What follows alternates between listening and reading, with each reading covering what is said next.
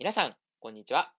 今回の動画は、早稲田道2021第18回併願攻略、マーチの試験日程まとめて解説といった動画になっています。えー前回の17回の方の動画でですね、えー早稲田の中で学部間の併願攻略をデータを使ってえ見てきた、あ話していったわけなんですが、え今回はですね、え早稲田とそれ以外の大学の併願、えの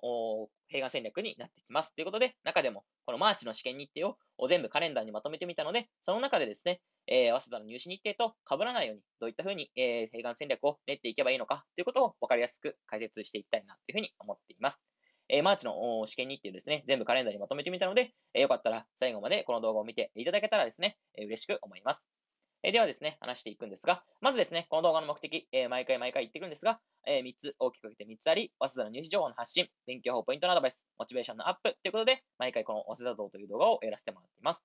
えーそれで次ですね、えーまずは日程を確認しようということで、前回も確認したんですが、またおさらいですね。えー12月の、あ、12月じゃないですね。2月の12日から2月の23日まで、これが早稲田の入試日程で、えーこういったような日程になっていますということです。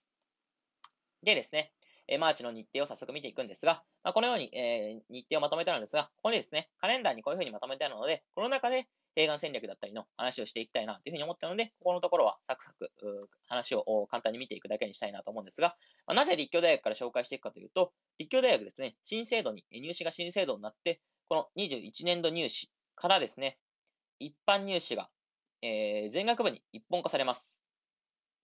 はい。ということで、えー文系だったらこの学部、まあ、文学部だったらここの日程もあるんですが、あとはあ理学部ですね。理系だったらこのに、え2つの日程があるということで、こういった日程の中で併願をしていくことが、あこういった日程の中で、えー学部に関わらず日程が決まっているということなんで、まあ、併願をするには非常にやりやすいかなというふうに思ったので、えー今回立教大学をこのように、えー立教大学から解説しようというふうに思いました。ただですね、全学部日程になっているということもあって、受けやすさが上がっているので、その分ですね、え入るのが簡単になるわけではなく、若干難しくなるというふうに思います。例年よりも、やはり、え入試の日程が受けやすくなったということで、多くの人が受けるように思われるので、えー若干難易度は上がる上がるようには思うんですが、その中でも、併願戦略の中にこの立教大学を一つ入れるというのは、えやりやすいのかなというふうには思いました。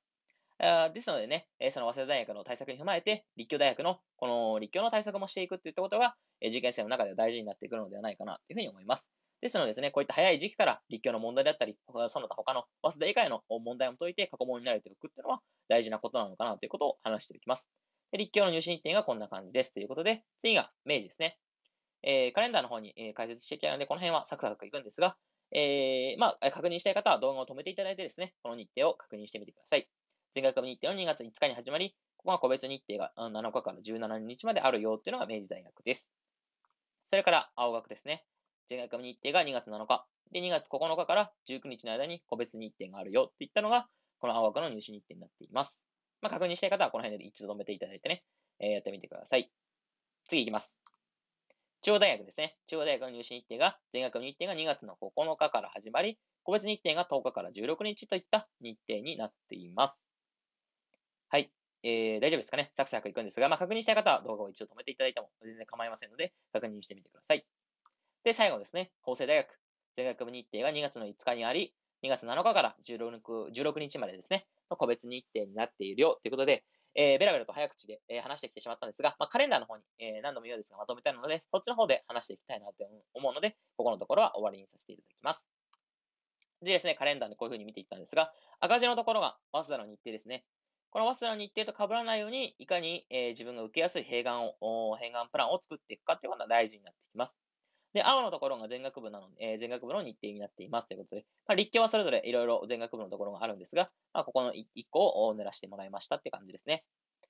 えーでですね、えー早速、併願プランを考えていきたいんですが、まあ、いつも文系からやってるので、今日は理系からやっていこうかなというふうに思います。早稲田の理工学部だったり、ここのところをををすると、あとは早稲田の中で言うと、教育学部の理系とかが併願の先になってくるのかなというふうに思います。そうすると、まあメインで早稲田の理工だったり教育を受けるってなってきたときに、じゃあ理系どこ受けようかなというと、まずこの立教のここのところは6日に受けられるということで日程かぶりがないので、6日やりやすいというふうに思います。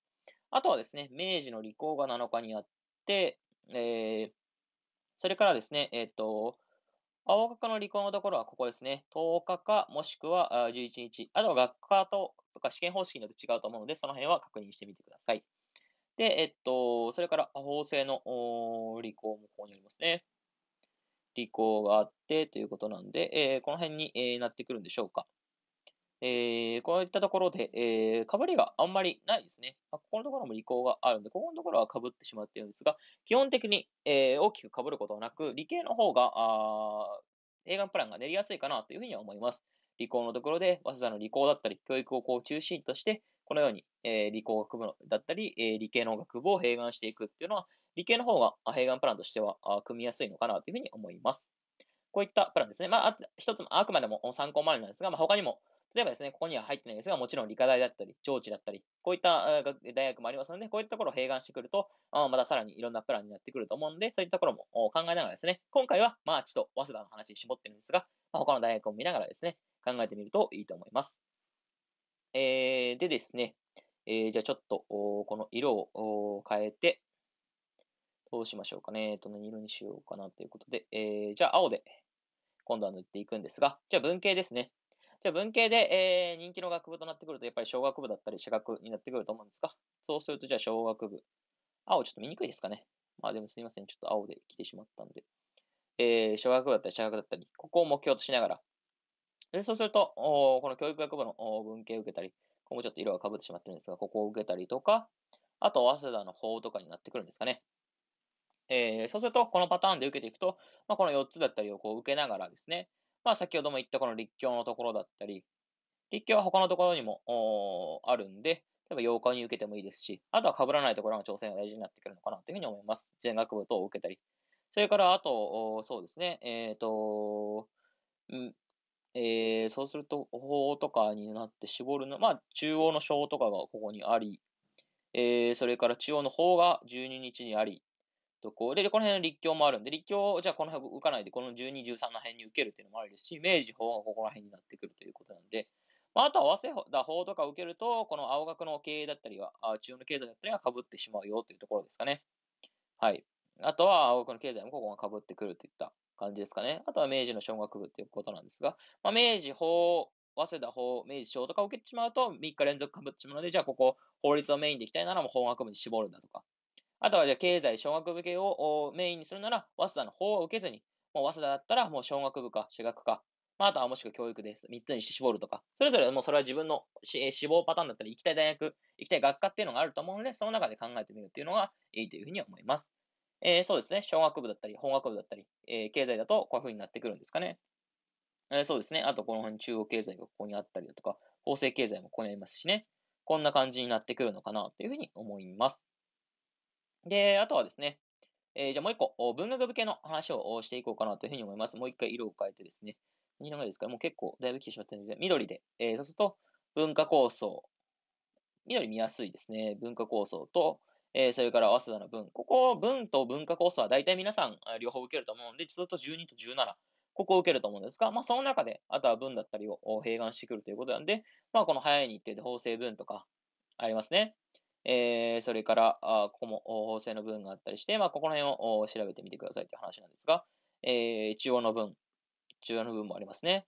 えーそれから、えー明治の文がここにあってということなんで、まあ、ここの12、13は被ってしまうんですが、でも2日間ぐらいで、えー文学部系を志望している方もですね、そんなにえー被らずできるのかなといった日程になっていますよね。文学部の